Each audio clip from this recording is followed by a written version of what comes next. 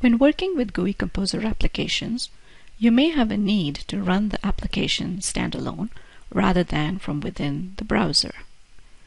This video demonstrates how you can export a GUI Composer application so that you can run it standalone.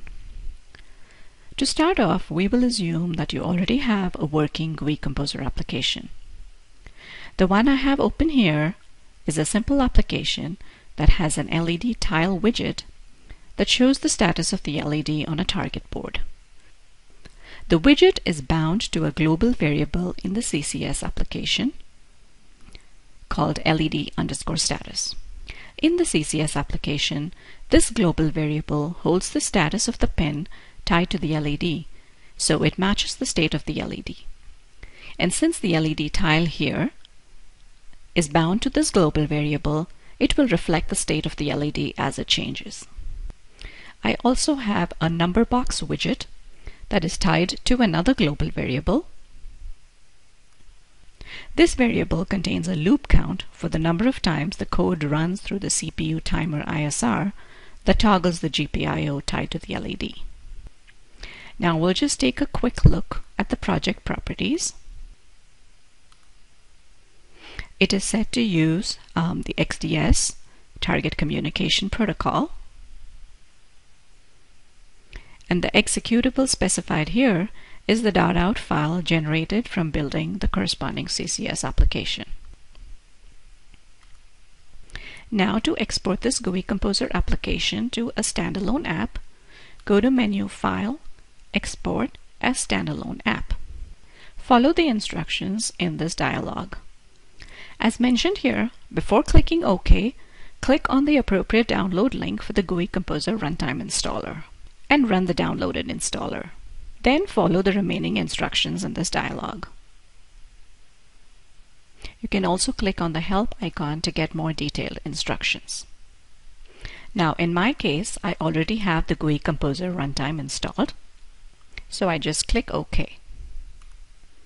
This will download a zip file named after the GUI Composer project. Click Close to close this dialog. Now to install the standalone app from the downloaded zip file, the first thing we're going to do is unzip the downloaded file.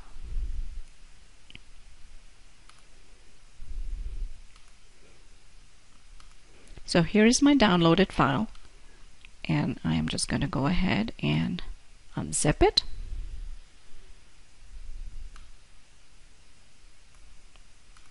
and go to the unzip directory.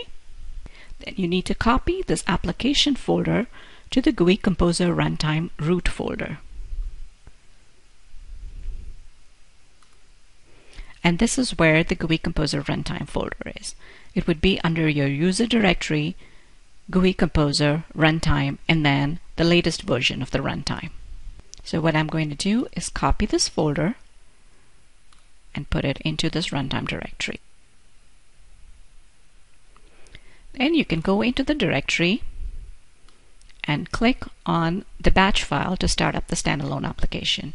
In this case, I'm going to uh, start the win32 underscore start because I'm on a Windows operating system. If you were working on a Linux or Mac system, then you would use one of these shell files to start up the standalone application.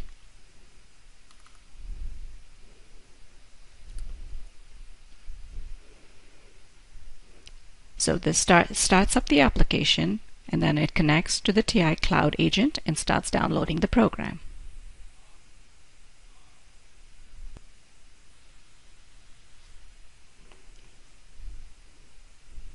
After the download, it is connecting to the target and now you can see that the LED tile is blinking in sync with the LED on the target board and the CPU timer interrupt count is increasing as the LED is blinking. So this is how you can export a GUI Composer application to a standalone app and run it standalone.